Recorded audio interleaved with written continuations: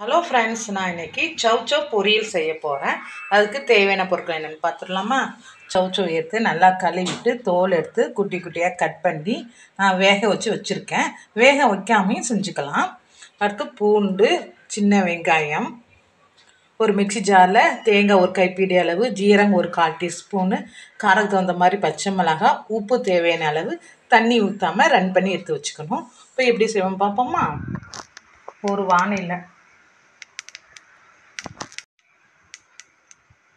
ஒரு வானலில் ரெண்டு ஸ்பூன் எண்ணெய் ஊற்றிட்டு கடுகு உளுந்தம்பருப்பு கடலப்பருப்பு போட்டு தாளிச்சுக்கணும்.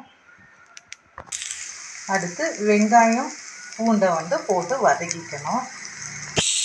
வெங்காயம் பூண்டு வந்து வதங்கிச்சு அடுத்து வந்து வேக வைத்த காயை போட்டு நல்லா கலந்து விட்டுக்கணும்.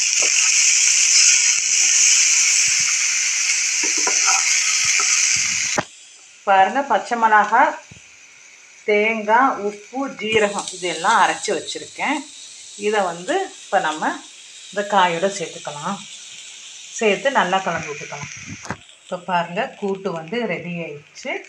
இந்த சேலம் குக்கிங் டைம் சேனலை like share comment and subscribe பண்ணுங்கள் தேங்க்யூ ஃபேன்ஸ்